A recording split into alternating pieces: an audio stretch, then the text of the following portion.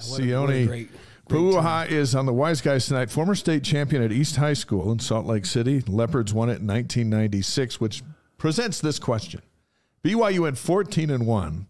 They're ranked number five in the country that year. So why didn't you go to BYU? I didn't get recruited by BYU. Really? Yeah. Mistake.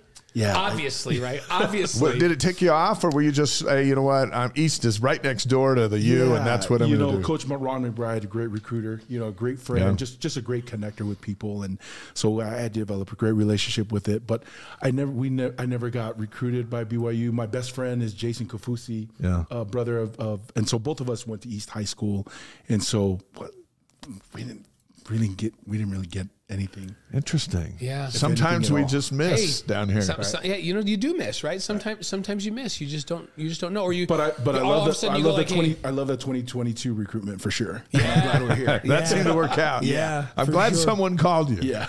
Yeah. So and Ronnie Mack, like we've had some great interactions with with Yeah. Ron over the years. Like when he and LaVell were in the driver's seats, um, the rivalry had a tone to it that was really fun. Yeah. You know they and those two were dear dear friends. Yeah.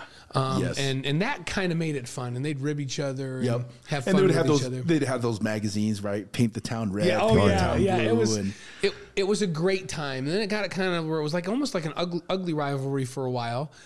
Um, it feels like I wonder if it feels like this to you as well. That with Kalani and Kyle, who are also really dear friends, that the civility of the rivalry seems to maybe not for some fans, but in inside.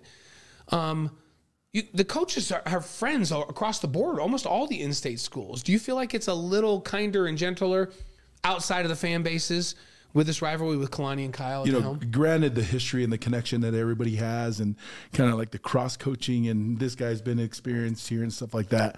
Still got to understand everybody's competitive. Right. Right, everybody's still competitive, and everybody's still trying to win that game. And so, when we get on the drawing board, and or, or we have an opportunity to be able to compete, there's still that competitor at the core, Right. of all of that that happens. And and you know, amongst all the fanfare and stuff, it's really about, hey, let's compete, man. We, we want to compete.